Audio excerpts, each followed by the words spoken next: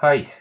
The following short film just tries to uh, outline the uh, principles of the use of a system of thinking called synectics. Synectics helps us to explore logical connections between words to arrive at something which appears to be somewhat illogical.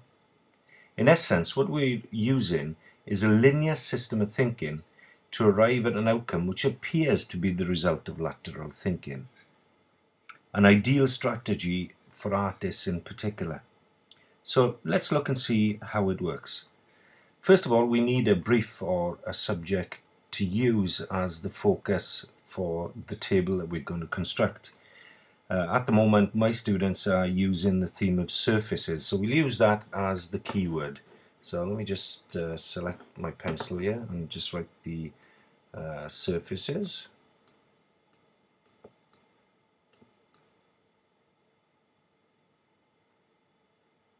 I'll put in inv inverted commas just to make it look pretty. Okay, so that's inverted commas uh, around our surfaces. We know that that's our theme. Uh, and one of the first things to do uh, when you're using a synectic system is to perhaps uh, list all the words that come to mind under that theme. So uh, I can think of things like um, uh, hard, we'd have a hard surface maybe. Uh, the opposite of that would be soft. we could have textured.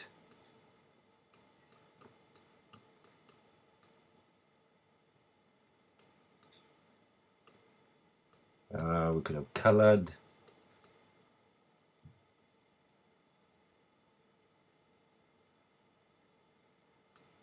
Uh, we could have beneath the surface.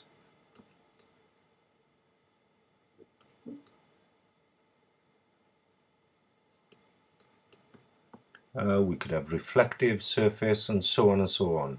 So we could create a really big list of words which will give us a starting point for the synectic system. What we need are words which we can use as keywords as starting points and then we can apply the system to change those starting or keywords into something else. So let's make a table first of all. If I select some straight lines, um, as all tables need to have straight lines, we'll make a, make a simple grid. That'll probably do us. Um, and then we'll divide this up into some sections.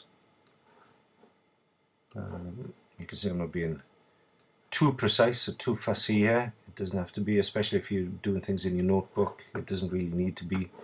Um, and then we're going to just put some labels here. So we've got um, ah, actually if I go back to this we can uh, that's the word or keyword goes first. Um, and then we'll just write in here feels. We'll see what I mean as we get to it. It feels like. And then in the next one we'll put opposite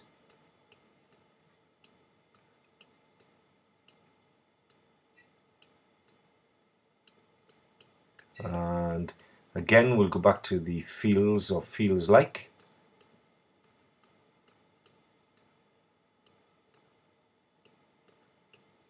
And then we'll come up with our conclusion word or uh, our um, the word that we uh, the outcome is probably a better word one that uh, explains everything.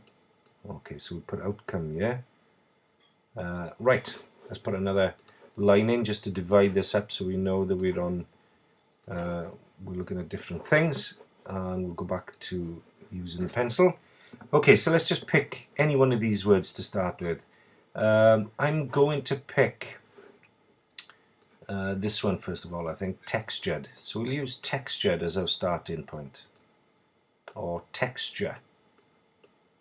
So we've got a keyword, texture. So when I say the word texture, what does that feel like? What does it make you think of? Um, first thing that comes to my mind is rough so I'm going to write rough in here. Remember, you may have come up with a completely different word to this. That's fine. There's no right or wrong way of doing this.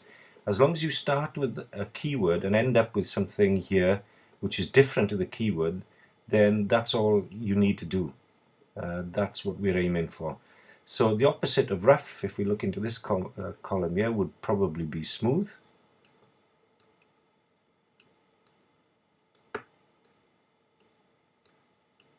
And again, if I say, what does that feel like to you, or what does it make you think of? Um, I'd think of glass.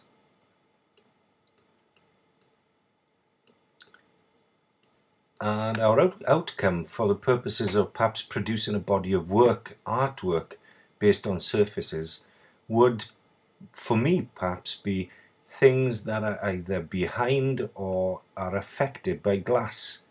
Uh, it could be pattern glass, it could be anything. So we'd be looking at an outcome which would be based upon glass. Let's just try it again. We'll, we'll, use the same word, texture, to start with. We could go the other way and use smooth, which of course then the opposite would be rough. So we'll get to that in a moment. So that would be rough.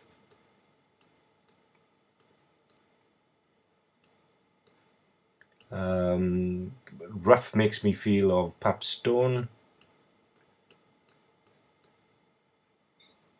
And my outcome would then perhaps be a body of work based on drawing, photography, painting, all based on uh, stone surfaces, the uh, different types of stone uh, that I could perhaps find around my house or uh, on the coastline. It could be weathered stone, anything to do with that.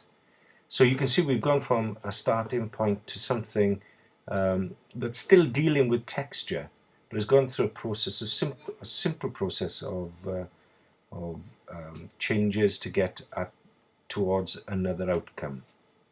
You can do this time and time again. Um, we could do it with coloured, we could do it with beneath.